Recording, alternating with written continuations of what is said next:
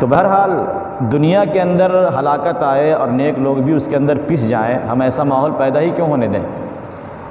हमें इस बात की कोशिश करनी चाहिए कि माशरे की फैली, बुराई को हम, उसको रोकथाम करें। इसकी सबसे बेहतरीन शक्ल जिसको हमारे उलमा ने मशवरे के तौर पर रखा है, मैं आपके सामने उसको रख रहा हूँ कि तीन तबका, अगर उम्मत का तीन तबका ये अज़्म कर ले कि हमें माशरे से बुराई को ख़त्म करना है तो ख़त्म हो जाएगी ये बुराई। मगर तीन तबकों को एक साथ शामिल होना पड़ेगा। पहला तबका उलमा और दीनदार हजरात का है। मस्जिद के अइम्मा व मौज़िन जमात से जुड़े हुए हजरात। मस्जिद में पाबंदी के साथ हाज़िरी देने वाला दीनदार शख्स, एक जमात इनकी हो।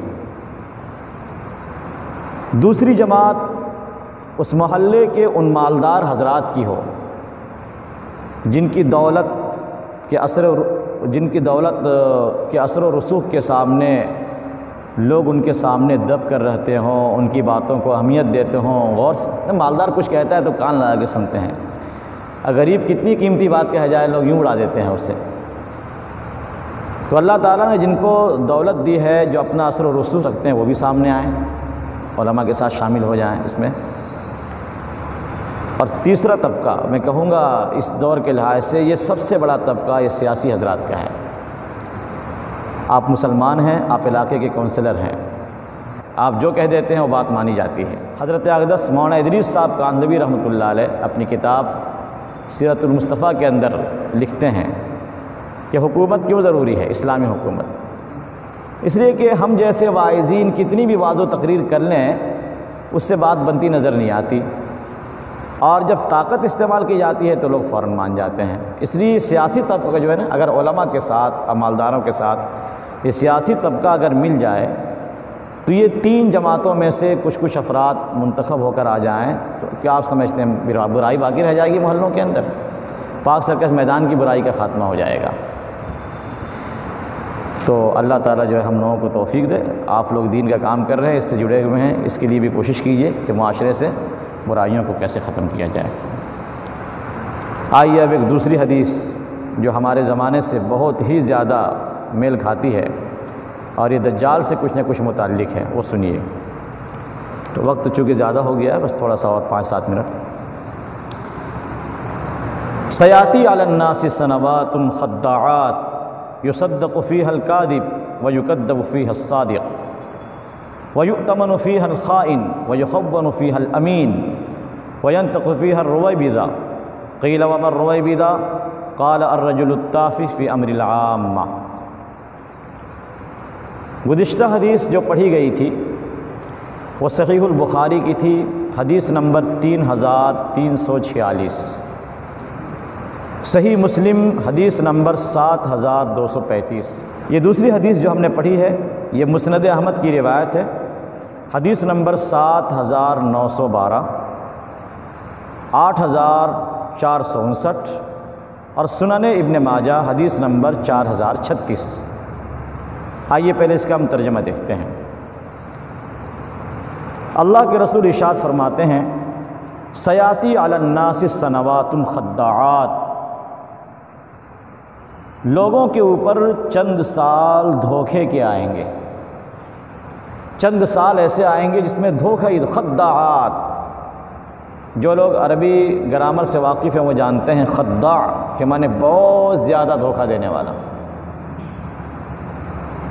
धोखे के चंद साल होंगे ये। युसद्दफ़ी हल्काजिब व युकद्दबफ़ी हसादिब जिनमें सच्चे झूठे को सच्चा समझा जाएगा और सच्चे को झूठा समझा जाएगा। बिल्कुल मामला पलट जाएगा। वयुतमनफ़ी हलखाइन ख़यानत करने वाले को अमानतदार समझा जाएगा। वयुखवनफ़ी हल अमीन, और अमानतदार को खाइन समझा जाएगा। वयंत कुफ़ी हर रुवैबिज़ा, और रुवैबिज़ा इंसान उसमें ज़बान खोलेगा, बातें करेगा, वो सरबराही करेगा। कीला आपसे पूछा गया, रुवैबिज़ा की क्या माने हैं? काल, आपने फरमाया और रजुलताफ़ कम अकल इंसान। कम अकल। फ़ी अमर आम्मा, आम लोगों के मामले में वो जो है, ज़बान खोलेगा और उनको मशवरे देगा। आम लोगों के मामले में, यानी मिली मसाइल के अंदर वो गुफ्तु करेगा वो रहनुमाई करेगा। अब आइए ज़रा मुख्तसर अंदाज में इस हदीस को भी देख लें हम। लोगों के ऊपर चंद साल धोखे के आएँगे। धोखे से क्या मुराद है यहाँ पर? बाज़ा की राय ये है कि धोखे का मतलब ये है कि बारिश तो होगी। लोग एक उम्मीद बाँध देंगे कि बारिश हुई है तो गल्ला भी उगेगा, पैदावार होगी। तो ये हुआ धोखा। बारिश हुई, धोखे में आ गए, गल्ला पैदा ही नहीं हुआ। लेकिन इस किताब के जो शारे हैं हज़रत अकदस मुफ्ती शुएबुल्ला खां साहब उनकी एक राय है और उस राय की मैं भी तायद करता हूँ चूँकि वह हदीस के मुताबिक है। हदीस पाक में अल्लाह के रसूल ने खुद ही बता दिया है देखिए तशरी खुद ही कर दिया आपने अलग से वजाहत की कोई ज़रूरत नहीं। क्या फरमाया आपने? धोखे के सालों का मतलब ये है कि सच्चे को झूठे जू, को सच्चा समझा जाएगा। और सच्चे को झूठा। माहौल ऐसा बना दिया जाएगा कि झूठा आदमी अपनी चरफ ज़बानी के साथ, अल्लाह ताला ने जो उसको बोलने की ताकत दी होगी, उस ताकत के बलबूते पर बार बार बार बार अपने झूठ को बोलकर वो सच मनवा लेगा। माशरे के अंदर अपना ऐसा मकाम बना लेगा कि आम लोग धोखे में आ जाएँगे?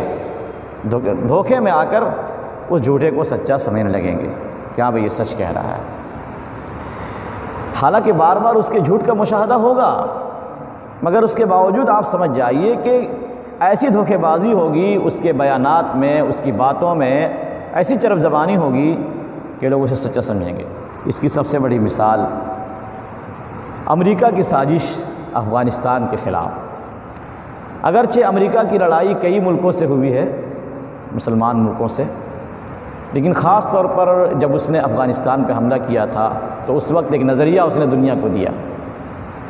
वर्ल्ड ट्रेड सेंटर का बहाना बनाकर उसने एक नज़रिया दुनिया को दिया कि इस्लाम दहशत गर्दी सिखाता है। ये नज़रिया वहीं से शुरू हुआ था ना, उससे पहले नहीं था। सन 2001 के बाद दुनिया ने करवट ली है। नज़रियात ऐसे बदले मीडिया के सहारे अमेरिका ने इस बात को इतना बावर करा दिया, इतना यकीन दिला दिया कि मुसलमानों का 80 फ़ीसद तबका ये समझता है कि नहीं, इस्लाम के मामले में जो ज़्यादा कट्टरपंथी दिखाएगा वो दहशत गर्द होगा। नो इस पर जिस कदर अफसोस किया जाए, वो कम है। इस्लामी हुकूमत की मुखालफत काफिरों से ज़्यादा मुसलमान करते हैं। किसी ने सही कहा था कि अगर कोई जमात, कोई तहरीक इस्लामी निज़ाम के क़्याम के लिए उठे तो उसकी मुखालफत में अगर गैर मुस्लिम हुकूमतें कैदोबंद की सज़ाएँ देंगी तो मुस्लिम हुकूमतें कत्ल और फांसी की सज़ाएँ देंगी। और ये हो रहा है, हम अपनी आँखों से देख रहे हैं। ये सब क्या है? ये प्रोपेगंडा है। सच्चे को झूठा बताना, झूठे को सच्चा बताना। युसद्दक़फ़ी हल्कादिब व युकद्दबफ़ी हसादिक इनमें झूठे को सच्चा बताया जाएगा और सच्चे को झूठा बताया जाएगा। वयुतमनफ़ी हल ख़ाइन ख़यानत करने वाले को अमानतदार समझा जाएगा और अमानतदार को खाइन समझा जाएगा। अब इसकी भी मिसाल आप ले लीजिए। हमारे ज़माने में ऐसा ही हो रहा है। एक ऐसा इंसान जिसकी ज़िंदगी बिल्कुल भी शरीयत के मुताबिक नहीं है। मस्जिदों से दूर है, बेनमाजी है। और सरकारी महकमे से चूँकि जुड़ा हुआ है, हुकूमत के कोई छोटी बड़ी कुर्सी उसके हाथ है।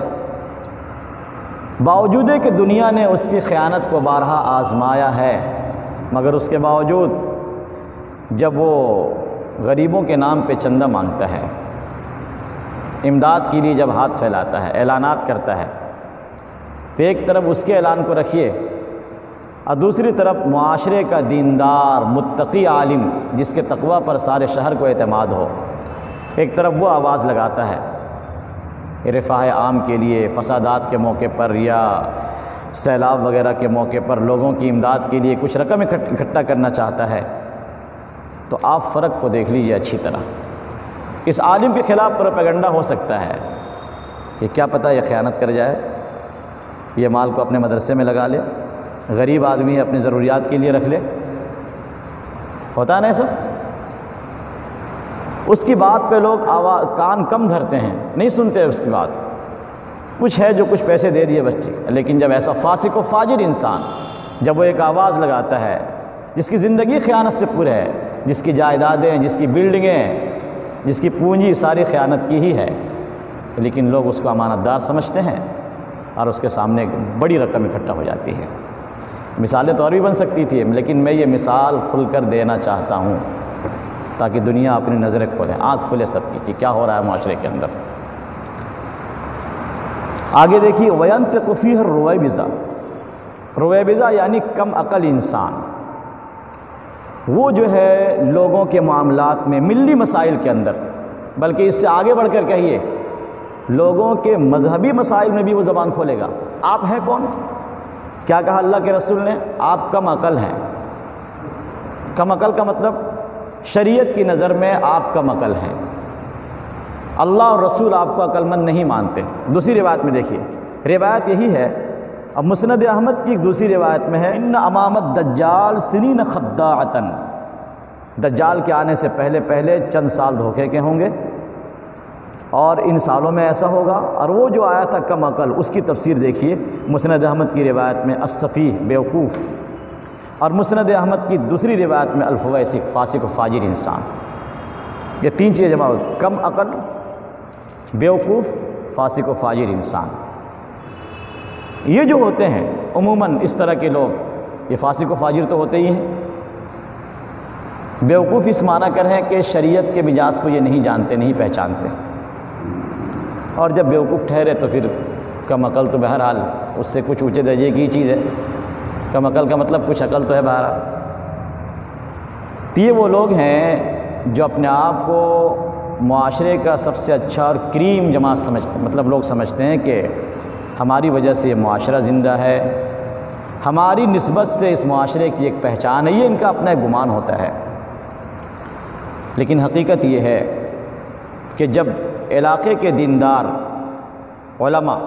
मज्जिन हफाज कराम, जब ये ऐसे लोगों के दबाव में आकर दीन का काम करते हैं तो बहुत बुरी तरह माहौल बिगड़ जाया करता है। शरीयत बिगड़ जाया करती है। तो ज़रूरत इस बात की है कि आज हमारे माशरे में जो ऐसे लोग गालिब आ गए हैं और मिली और दीनी मसाइल में जो राय जनी कर रहे हैं, उनको इससे रोका जाए और उनको बताया जाए हमत के साथ कि ये मकाम आपका नहीं है, जिनका ये मकाम है उसको दिया जाए। जो इसके अहल हैं, अल्लाह के रसूल ने जिनको अहल बताया है, वो ये काम करें, आप न करें। उनको नरमी से समझाया जाए।